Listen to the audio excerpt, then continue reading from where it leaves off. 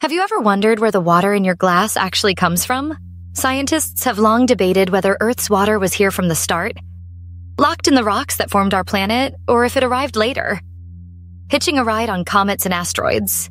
But a new discovery is pushing that question even further back in time. Researchers have just detected heavy water, a rare form of water where the hydrogen atoms are replaced with a heavier version called deuterium, in a protoplanetary disk, the swirling material around a young star where planets are born. Using the Atacama Large Millimeter Array, astronomers found this heavy water in the system V883 Orionis, a place already famous for revealing the snow line, where water turns to ice. By measuring the ratio of heavy water to regular water, the team found evidence that this water predates the star itself.